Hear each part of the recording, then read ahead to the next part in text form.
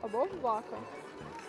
Ah, tá gravando? Desculpe então, porque hoje o Caipirismo veio para uma festa junina para mostrar uma tradição da nossa região, que são os terços em louvor aos santos juninos, Santo Antônio, São Pedro e também São João.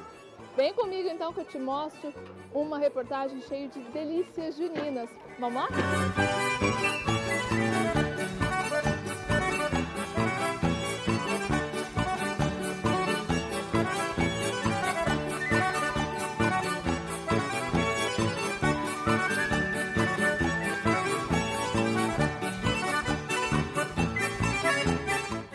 As festas juninas são um momento esperado para muita gente. No sul de Minas, o mês de junho fica movimentado pelas festas e terços que acontecem neste período para a alegria da criançada. As festas têm como objetivo louvar três santos juninos: Santo Antônio, São João e São Pedro. Mas será que a garotada sabe quem são eles? É, mais ou menos. São Pedro, não é? Ah, São Luís. Santo Antônio. Acertou! Santana, o que, que o Santo Antônio faz, Daiane? Não sei. Podem ficar tranquilos que o Caipiríssimo explica. O mais famoso dos santos juninos é São João, representado por uma criança com um carneirinho, mas ele também é conhecido por São João Batista. Era primo de Jesus e batizou Cristo nas águas do Rio Jordão. O dia 24 de junho é o dia de nascimento desse santo. O dia de São Pedro é comemorado no dia 29 de junho. Ele foi apóstolo e o primeiro papa da Igreja Católica e o padroeiro do Papa e dos pescadores. Por fim, o meu santo favorito, Santo Antônio, um santo português, mas que morreu na Itália no dia 13 de junho. Santo Antônio é mil e uma utilidades. É padroeiro dos pobres, das mulheres grávidas, dos casais, dos oprimidos e das pessoas que desejam encontrar objetos perdidos. E por isso que ele é meu preferido. Santo Antônio também é padroeiro da Diocese de Guaxupé. Entenderam, crianças? Ah, São Pedro. É, meu pai fala, São São Pedro. Quando chove, ele grita, faz, fala isso. Os moradores da rua Roberto Magalhães, no bairro Alto da Colina, em Guaxupé, preparam a festa junina na rua pela primeira vez. A ideia começou com a Adélia.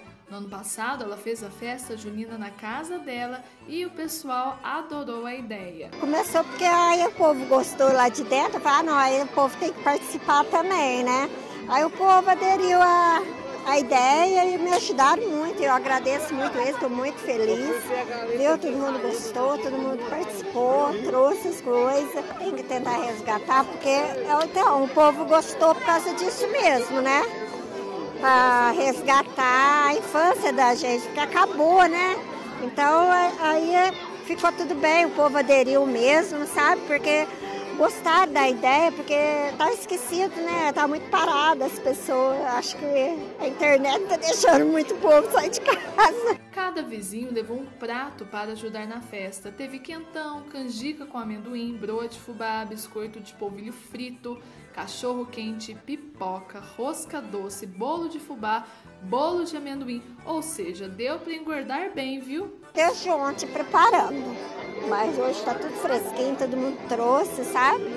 E vai sobrar bastante, com a graça de Deus. O que, que vocês mais gostaram aqui? Dos cachorro quente, da comida. Tudo então? É, e dançar. Dançar? Dançar foi legal. Mas um dos pontos mais importantes é manter a tradição junina viva no interior. Eu acredito que dura por muito tempo, dependendo da criação de cada criança, porque eu tive três crianças, graças a Deus hoje estão adultos, são muito bem criados e depende, depende da participação de pai e mãe. A Jane também realizou o terço junino na casa da família no bairro Recanto dos Pássaros, em Guaxupé.